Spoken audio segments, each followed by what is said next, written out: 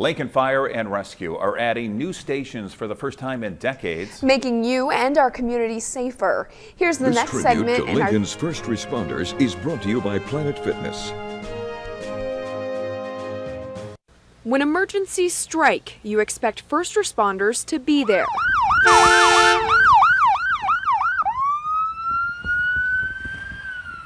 But as Lincoln grew over the years, so did response times, and parts of the city became underserved. As we look at the stations across the city right now, we realize that many of them are in really poor shape.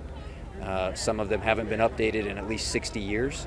The city is working to change that. Recently, Fire Station 11 was unveiled, the first new one in decades.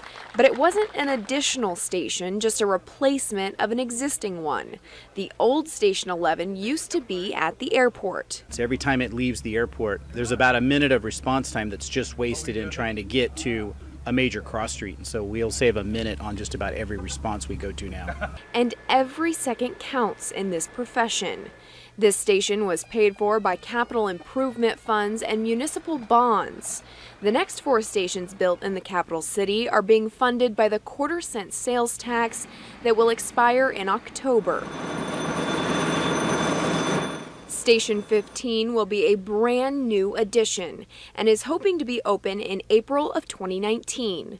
It will be located at 66th and Pine Lake and also be a joint facility, housing a new police team as well, both serving a booming area of the capital city. Growth means new subdivisions, new areas of town.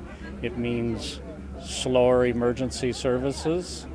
If you don't expand uh, your services along with the growth of the town. This is an example of the reinvestment of revenues into uh, taking care of the problems that come up with growth. Up next will be the relocation of Station 10 from 14th and Adams to 24th and Superior. It's expected to open by August of 2019. Then Station 12 will move from 84th and South to 84th and Pioneers. Expected opening date November of 2019. So if we can get to an incident quick enough, we don't need other units to come in as much to back up. We could turn other units around and, and, protect other parts of the city. The last step of the plan will be the addition of the brand new Fire Station 16. It will be located at 98th and O Streets and is expected to be opened around January of 2020 citizens overall around town will be better, much better served.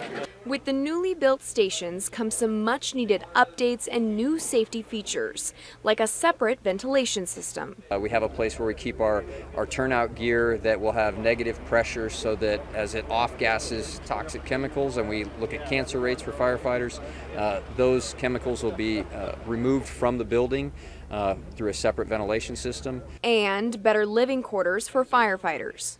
Uh, we are trying to make a, a, safer workplace for our firefighters who are here 365 days a year. You know, a, a fire station never closes from the day it opens until they stop using that building. All of these changes will significantly improve response times, making Lincoln a safer place to live.